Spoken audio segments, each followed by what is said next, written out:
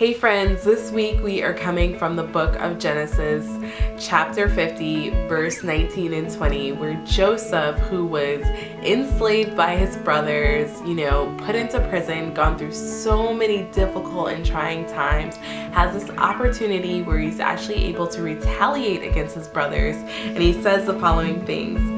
But Joseph replies, Don't be afraid of me. Am I God that I can punish you? You intended to harm me, but God intended it for good. He brought me into this position so that I could save the lives of many people. And, you know, we hear that and we're like, wow, like how did he not take this delicious moment to retaliate against his brothers?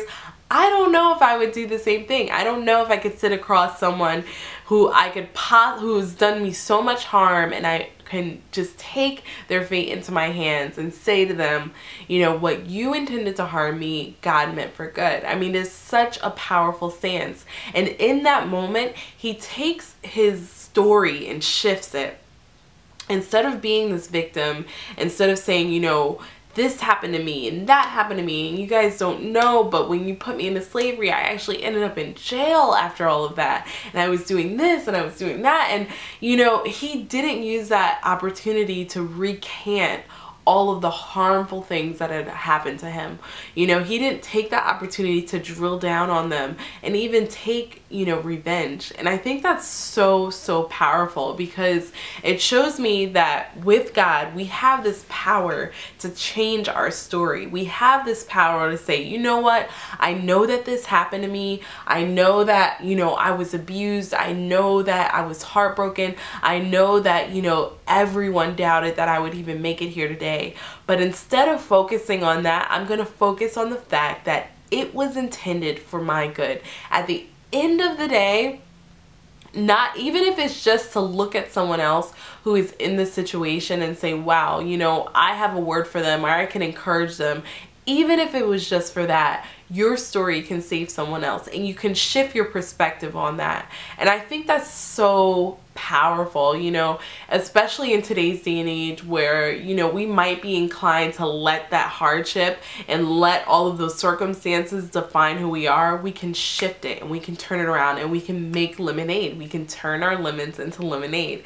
And so I really want to encourage you this week to really study the story of Joseph. It is so fascinating how, you know, through all of these really trying circumstances, he was able to just keep such a devotion to God and such a devotion to just not getting depressed, not getting into a position where he was not capable to carry out the task that was before him because God took him from slave to prisoner and then to the palace where he was second in command over all of Egypt. And even to have the skills and the wherewithal to take on that challenge of being all over over all of Egypt was a huge huge task. So he didn't allow his circumstances really to define and impact his skills his talents his um, ability to lead.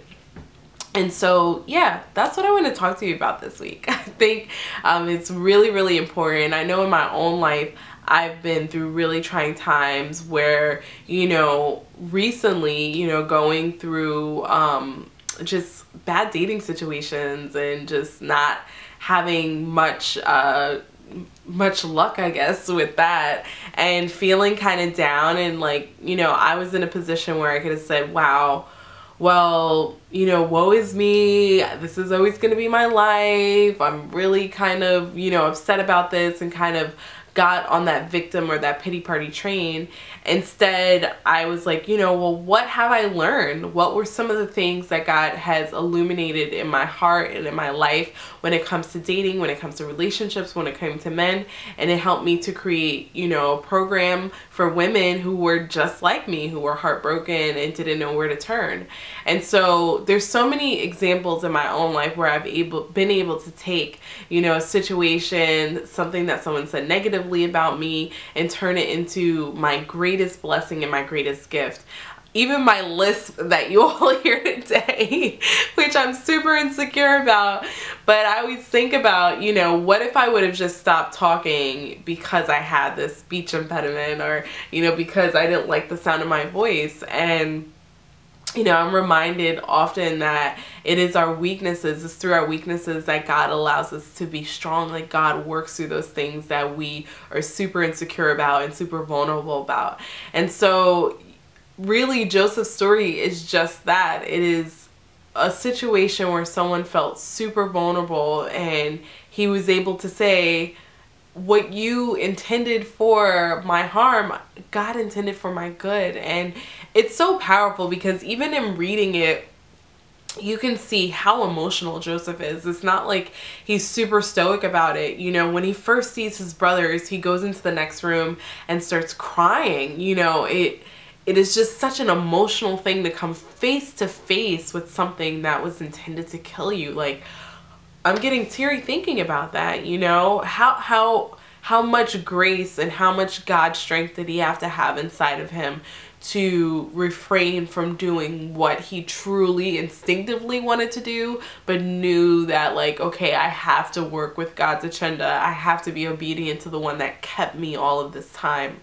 It is just so powerful. And so I know that this the story and the scripture will encourage you if you feel that you're holding on to uh, resentment and hurt and blame and you feel like you're stuck um, just know that there is another side to it. And when you're face to face with someone that harmed you or when you're face to face with just with a situation that meant to take you out just remember these words from Joseph and remember how God has brought you through all of it. And that in turn because of what you went through in spite of it all you're able to help and save someone else.